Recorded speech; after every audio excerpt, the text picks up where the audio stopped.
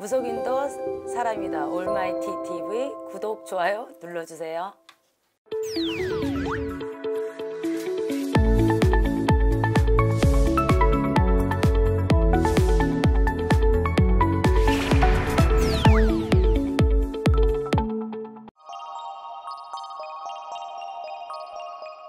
음, 2020년 쥐띠들의 총우는 음, 모든 일에 이익, 이익이 있는 달입니다. 예, 노력의 결과가 굉장히 좋고요. 근데 쥐띠들이 올해도 좀 나쁜 운은 아니었던 것 같아요. 네, 시험은, 합격은, 그리고 취업은 예, 좋은 달이라고 하겠습니다. 명예도 높아지는 운으로서 중요한 직책을 맡은 분도 있겠고 중요한 명예직에서도 완성될 그런 달이, 아, 그런 운이 됩니다.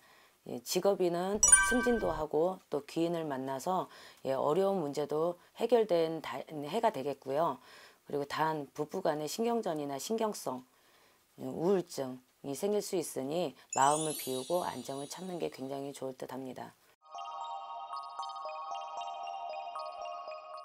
1월달 운세로는 직장인은 인간관계에서 구설 수가 있겠습니다. 예, 조심하시고 일적으로는 직장 내에서 인정을 받지만 예, 구설수만 조심하며 무난히 흘러가는 달이 되겠습니다.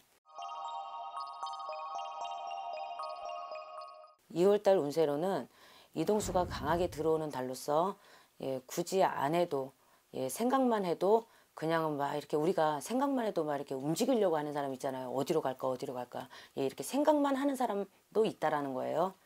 예, 그러니까 이럴까 저럴까 하는 생각에 마음만 심란하는 달이 되겠고요. 예, 현재 일에서도 마음만 바빠지는 달이고 어, 몸은 힘든 달이 되겠습니다.